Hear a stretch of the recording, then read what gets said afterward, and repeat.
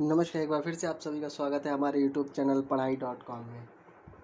हम अभी तक पढ़ रहे थे अकाउंट्स किसे कहते हैं अकाउंट्स के बारे में हम जाने जर्नल किसे कहते हैं, ये सब जाने हम। बुक कीपिंग क्या होती है, इस बारे में हमने वीडियो बनाई और आज हम बात करेंगे कि जर्नल का जो अगला पार्ट है, अगला कदम जो जर्नल के बाद जो पोस्टिंग कहाँ पर की जाती है, किस नई पद्धति में के अंतर्गत ये सब काम होता है तो हमने आपको बताया था कि डबल एंट्री सिस्टम के अंतर्गत ये सब काम होते हैं। उसमें जो है, पहला पार्ट था रोजनामचा यानी कि जर्नल का। दूसरा है लेज़र या कह सकते हैं आप खाता बही तो खाता बही क्या है, इस बारे में हम जानते हैं। हर एक व्यापारी अपने दैनिक जीवन में जब भी लेन देन करता है तो वो सबसे पहली एंट्री जर्नल में करता है या रोजनामचे में करता है।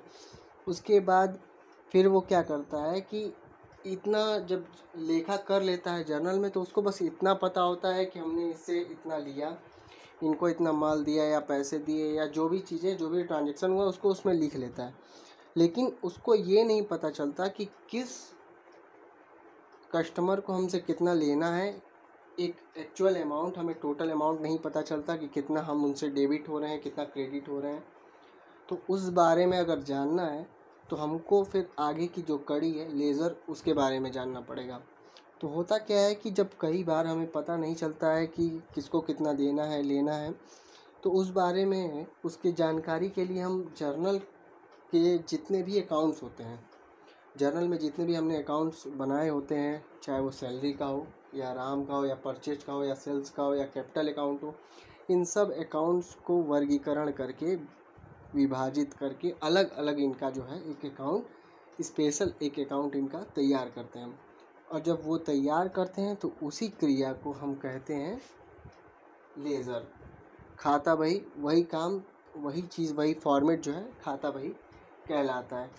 अब जो हम खाता बही करते हैं मतलब कि हम खातों का वर्गीकरण करते हैं, वर्गीकरण करके जो लिखते हैं तो लिखने की जो क्रिया होती है, उसे पोस्टिंग कहते हैं या खतौनी करना कहते हैं। उसके बाद आता है आपका खाता भाई, दिखता कैसा है? तो हम आपको दिखा देते हैं कि खाता भाई आपका जो है फॉर्मेट कैसा दिखता है। ये आपके डिस्प्ले पे आ गया सामने। स्क्रीन पे आपके आ रहा है नेम ऑफ़ अकाउंट मतलब जो भी अकाउंट हमारा रहेगा, या कैपिटल का रहेगा, या सेल्स का परचेज का, इसी तरीके से सब अकाउंट्स खोले जाएँगे। लेफ़्ट साइड में आपके डेबिट होता है राइट साइड में इसमें क्रेडिट होता है। आपके जर्नल में क्या होता था कि एक ही दो कॉलम होते थे अगल बगल उसमें एक में डेबिट की आपकी रकम लिखी जाती थी, एक में क्रेडिट की। लेकिन इसमें क्या है? ऐसा नहीं होता है। इसमें अलग अलग जो है, इसके पार्ट्स बना दिए गए कि डेबिट का अलग रहेगा, क्रेडिट का अलग रहेगा। डेबिट के पार्ट में जो भी आप एंट्री शुरू करेंगे, उसको टू से शुरू करेंगे और क्रेडिट में जो भी एंट्री आप शुरू करेंगे, उसको बाई से शुरू करेंगे। तो इसका फॉर्मेट आपके सामने है कि डेट हो गया, एक पर्टिकुलर हो गया, दूसरा जेएफ हो गया, उसके बाद हो गया अमाउंट।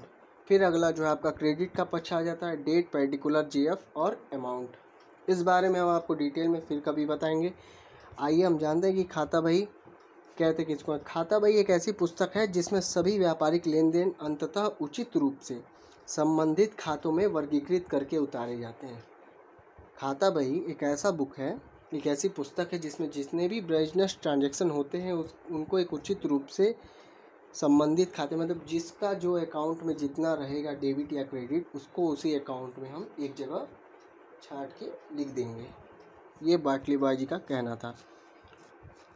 अब हम जानते हैं कि खाता भाई का अर्थ क्या होता है। हमने ये तो आपको पहला सारांश आपको बाट बाटली बॉय जिन जो बताया था, उनके बारे में हमने बता दिया। अब आगे हम जानते हैं कि खाता भाई का अर्थ क्या होता है। खाता भाई व्यापार की एक महत्वपूर्ण पुस्तक है। इसमें सभी प्रकार के व्यक्तिगत, अव्यक्तिगत तथा नाम व्यक्तिगत, वास्तविक तथा नाम मात्र खाते अलग अलग पृष्ठों पर बनाए जाते हैं।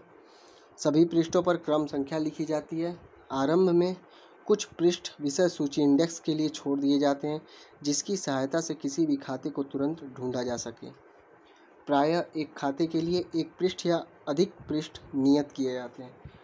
खाता बही में एक बहुत ही इंपॉर्टेंट बुक होती है। इसमें क्या होता है कि जो भी आपके तीन प्रकार के खाते होते हैं। हमने आपको पिछली इसकी वीडियो बना के बताया था कि कितने प्रकार के खाते होते हैं, कैसे कैसे उसमें पोस्टिंग की जाती है, एंट्री कैसे की जाती है। तो इनसे रिलेटेड जितने भी अकाउंट होंगे, उनको हम अलग अलग पेज पे जो है, ओपन करेंगे उस फॉर्मेट के रूप में। जैसा हमने आपको फॉर्मेट दिखाया था, उस फॉर्मेट के रूप में हम जो है उसको खोलेंगे और उसमें हम पेज नंबर यहाँ पे डाल देंगे, पेज नंबर इसमें डाल देंगे। उसके बाद जो भी एंट्री इनकी रहेगी, अगर डेबिट पक्ष का है तो डेबिट पक्ष में क्रेडिट पक्ष का है तो हम क्रेडिट पक्ष में उसकी एंट्री कर देते हैं। ताकि अगर हम, और सबसे पहली चीज़ कि पहला पेज हम इंडेक्स के लिए छोड़ते हैं। जैसे आपके बुक में, आपने बुक देखा होगा, हमेशा बुक में पहला पेज जो होता है, वो इंडेक्स का होता है। इंडेक्स का होता है कि आपका कौन सा चैप्टर कौन से पेज पे है, आप कुछ ही मिनट में उसको खोज सकते हैं। ठीक उसी तरीके से इस पेज की बुक में भी होता है कि आपका पहला पेज जब इंडेक्स के लिए आप छोड़िए तो कौन से पेज पे आपने किसका अकाउंट ओपन किया है, उसके बारे में आप आसानी से जानकारी कर पाएँगे। अगर आप इंडेक्स बनाते हैं तो।